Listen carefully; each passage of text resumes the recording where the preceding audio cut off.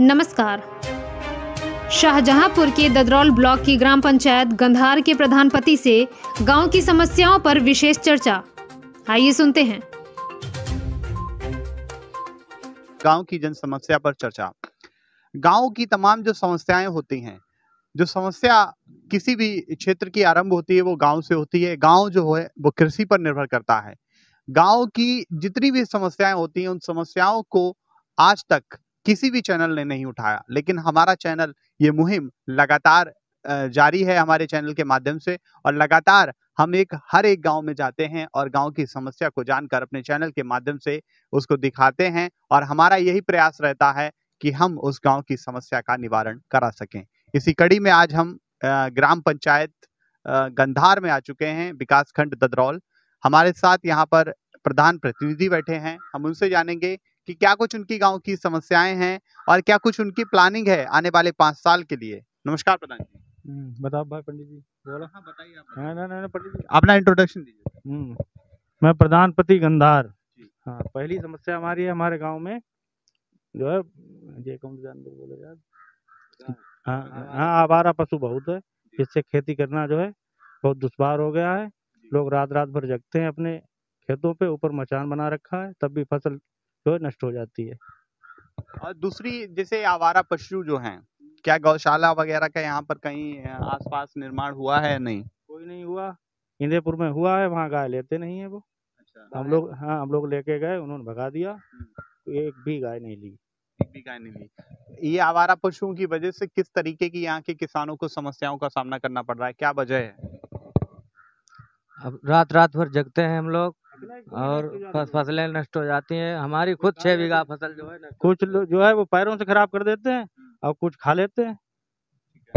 दूसरा जो गाँव की और समस्याएँ रहती हैं जैसे विकास की समस्या हो गई कहीं किसी को आवास नहीं मिला किसी को शौचालय नहीं मिला है तमाम ऐसी चीज़ें हैं जो गाँव तक नहीं पहुँच पाती हैं। गाँव के पैसे का जो गाँव के विकास के लिए जो पैसा आता है उसका दुरुपयोग किया जाता है लगातार। इस पर आपका क्या कहना है? अभी तो हमें हमें नया मामला है हमें जानकारी नहीं पूरी कैसा क्या होता है। जी। हैं? अब जब आगे हम किस तरीके का विकास है आपके गाँव का? कुछ विकास कुछ भी विकास नहीं है। कोई विकास नहीं हम्म, वो तो- स्वतंत्रता के बाद अगर देखा जाए तो कौन सी कौन सी इस बार की पंचवर्षीय चल रही है? मेरे ख्याल से पंद्रहवीं पंचवर्षीय है। हाँ पंद्रहवीं। पंचवर्षीय में मतलब पंद्रह बार लगातार यहाँ पर प्रधान और प्रतिनिधि बने होंगे। क्या विकास रहा है इस गाँव का? क्या विकास का स्तर है? क्या परसेंटेज है विकास की? ऐसे हम क्या बताएँ? वो तो प्रमाण सामने ही है गाँव चल के देख लिया जाए। हम्म ऐसे क्या कितने परसेंट कितने ऐसे व्यक्ति हैं जिन्हें अभी तक आवास योजना का लाभ नहीं मिला है? होंगे लमसम पचास परसेंट आदमी। और कितने ऐसे व्यक्ति जिनको शौचालय नहीं मिला है? वो भी ऐसे लमसम पचास परसेंट। पचास परसेंट व्यक्ति शौचालय और आवास से वंचित हैं इस गाँव के। और ऐसी जो तमाम जो सुविधाएँ भारत सरकार या उत्तर प्रदेश सरकार से आती हैं ग्रामीणों के लिए उन तमाम योजनाओं में तमाम उनकी जो सुविधाएँ हैं उन सुविधाओं को किस तरीके से इस ग्राम पंचायत के लोग लाभ उठा उठा रहे हैं? कोई सुविधा ही नहीं है इसी टाइप से एक हमारे यहाँ पंचायत घर बना। जी। हाँ वो जर्जर है गिरने की स्थिति में है। हम्म। लिंटर उसका लपक गया कई हमने प्रार्थना पर सीडीओ डीएम सबको दिए लेकिन कार्रवाई कुछ नहीं हुई। आपने प्रार्थना पत्र दिए हैं? सीडीओ वगैरह तमाम अ, हाँ, मुख्यमंत्री वगैरह को हाँ। रजिस्ट्री वगैरह किया लेकिन कुछ नहीं हुआ। क्या समस्या है उसमें? वो जो है बीम उसकी जो बीम बीच की है हाँ। वो चटक गई है और लिंटर जो है बीम में लटक गई लिंटर लपक गया नीचे के लिए। ऊपर पानी भरा रहता है। जो सुखद शौचालय बना हाँ। उसका प्लास्टर टाल फाल सब टूटे टाटे हैं। हाँ। सब कुछ टूटा हुआ है। हाँ सब कुछ टूटा हुआ इसकी शिकायत आपने की है? हाँ कई बार की। अच्छा। सीडीओस की डीएम्स की। हम्म। तमाम लोगों से आप शिकायत कर चुके हैं। दूसरा क्या एक संदेश रहेगा क्या एक मैसेज रहेगा आम लोगों के लिए और प्रधानों के लिए? जैसे जिस तरीके से आप पहली बार प्रधान बने हैं आपका भी सपना होगा अपने गाँव के लिए आपने भी कुछ प्लानिंग की होगी उसी चीज़ पे क्या कहना है आपका? अरे प्लानिंग क्या हम सोच रहे हैं हम लोगों को अच्छी सुविधा पानी की सुविधा हो रास्ते की सुविधा हो आवास मिले। हाँ, यही प्लानिंग होती है आदमी हमारा गाँव जो विकास करे लेकिन जब तक ये गाय पाए रहेंगे विकास हो गया। हाँ। क्या गायों पर क्या कहना है? क्योंकि गाय जो है वो अगर सरकार के पे अगर प्रश्न उठता है तो सरकार कहती कहती है हमने गौशाला बनवाए हैं तमाम इनकी व्यवस्था की गई है। क्या है? हमारे ग्राम सभा में बनना चाहिए। गौशाला है तो फिर गाय क्यों खुली घूम रही है? तो सरकार की ज़िम्मेदारी है। जब सरकार एक शेर पकड़वा सकती है तो जो गाय क्यों ना है पकड़वा जमा करावे। जिस गौशाला में भेजना चाहे वो अपना भेजे। हम लोगों को तो बवाल काटे यहाँ से। भाई गवर्नमेंट जब शेर पकड़वा सकती है तो गाय गाय क्या बड़ी चीज़ है? या गौशाला में दिया जाए हमारी ग्राम पंचायत? में तो ये आवारा पशुओं के लेके आप आपका एक पर्सनल सुझाव मान सकते हैं कि जब सरकार शेर पकड़वा सकती है तो आवारा पशु क्यों नहीं? बिल्कुल।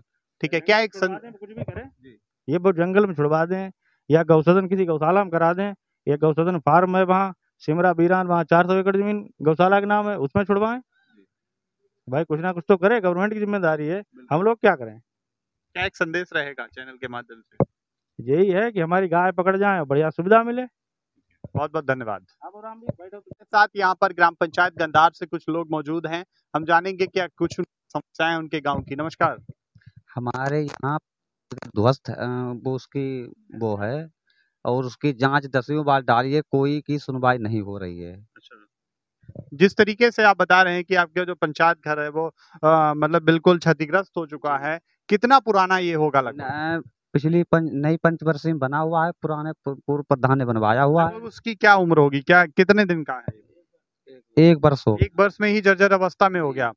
जी। क्या कुछ मटेरियल लगा होगा आपके हिसाब से? हमारे हिसाब से उसमें तो कुछ लगे ही नहीं है घटिया सामग्री की सामग्री लगी हुई है रेता टाइप। तो उसका बजट कैसे पास कर दिया? ये तो सेक्रेटरी पूर्व प्रधान ने पता नहीं कैसे बजट पास करा लिया।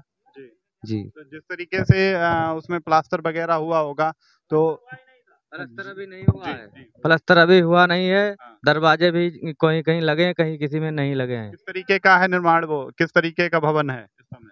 इस समय तो उसमें जो है खड़े होने भी नहीं जो है गिर गिर जाएगा। अच्छा। हाँ। और क्या ऐसी समस्याएँ हैं गाँव की पंचायत भवन के अलावा? पंचायत भवन के अलावा मेरी जो मेन रास्ता है हमारे घर के जाने के लिए पाँच साल से प्रधान से कहा। अभी उसमें गड्ढा है गाड़ी नहीं निकल पाएगी। आप जाना चाहो तो निकल नहीं सकते। तो हाँ। मौजूदा प्रधान से क्या उम्मीद है? मौजूदा प्रधान के हाथ में अभी कुछ आया नहीं है। जब आएगा तो उम्मीद है बनाएँगे वो। क्या कहना चाहेंगे मैं कहना चाहूँगा एक मेरे यहाँ भूमाफिया सरबजीत रहता है। एक सौ छप्पन एक सर ज़मीन का अवैध कब्जा कर रखा है। हम्म। उसमें बहुत बार हमारे प्रधान जी ने ज़ोर लगाते हैं मगर कोई सुनवाई नहीं होती है अच्छा। क्या क्या किस किस्म का वहाँ पर अवैध ज़मीन का कब्जा चल रहा है? अबे जब ग्राम समाज है चरागाह है उसने चार सौ बीस में पता नहीं कैसे उसने अपने आद, नाम आद, आदेश करा लिए हैं। अच्छा। मतलब ग्राम समाज की ज़मीन है और चरने वाली चर चर, चर चरा हाँ चरागाह जी। ठीक है। तो जिस तरीके से यहाँ के ग्रामीणों का कहना है, इन तमाम समस्याओं का इनका निवारण किया जा सके, हम शासन और प्रशासन से यही गुजारिश करेंगे कि इस गाँव की समस्या पर जो भी गुंजाइशन मदद की जा सके, वो मदद की जाए। देखते रहिए आप हमारा चैनल। नमस्कार। जय हिंद, जय भारत।